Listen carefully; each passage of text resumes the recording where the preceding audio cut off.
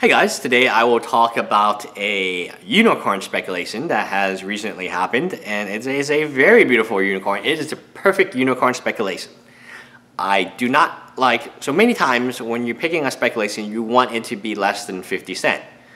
Uh, 50 cents. So this card was around 30 cents. Uh, I think the low was 30 cents and then the high was $7.50 and now it's a $4.50 card. I'm talking of Footsteps of Goryo, which is a champion of Footsteps of Goryo. Yeah, so it's uncommon. So it's uncommon from a set that was not open very much, and essentially reads. I'll have you know obviously the image here. Essentially reads two in a black uh, sorcery. Put target creature from your graveyard onto play, and then end turn sacrifice it.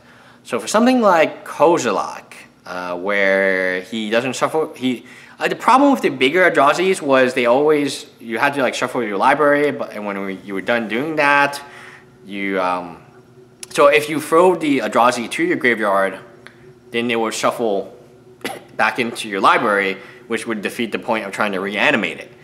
Now we have Eldrazi which don't do that. They just go, they just go to your graveyard and they stay in your graveyard, and that's very interesting. So that's probably why the card has gone up in price, but it should have been that way for a long time in my opinion. 30 cents was a very low price to pay. Like you could have bought as many copies as you wanted for under 50 cents. And now you would be looking at an 8x, at least an 8x multiplier. If you bought them at 30 cents, your multiplier right now at 450 would be a 15x multiplier on a card with extremely low risk because the card was not going to go below $30. That's the type of speculation I love. Um, underworld connections, um, anything like that where Desecration Demon, uh, Pack Rats, a card where, you know, a Painful Truth, a card where essentially the, it's so cheap and it just feels good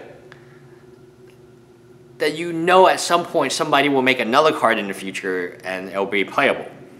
So I like it a lot. It's definitely one of those speculations that I wish I went a little more deep in um, into. Uh, I didn't buy any foils, so I was you know bad, but I did get uh, eight to twelve copies of the uncommon uh, right before the spike actually, because I was experimenting with the same decks. Like I was like, oh, as soon as I saw um, Kozilek, I was like, oh wait a second, maybe all these are Eldrazi so I didn't realize that like I for whatever reason I felt like they would all be in the same set. So Kozilek and you know I wasn't up to like the updates that often.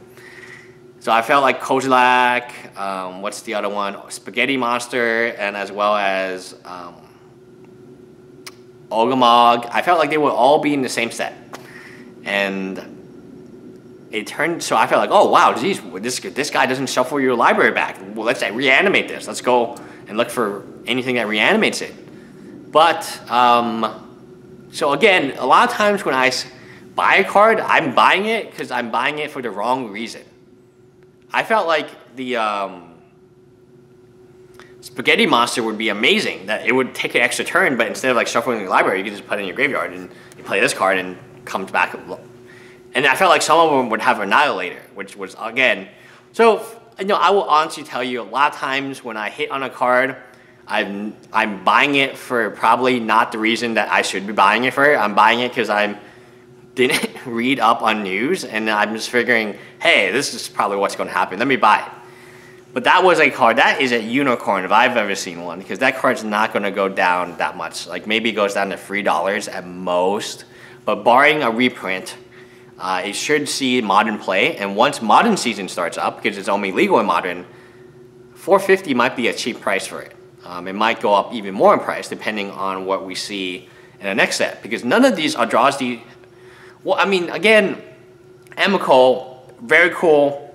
I got him in my graveyard, but he's not going to stay in my graveyard, right?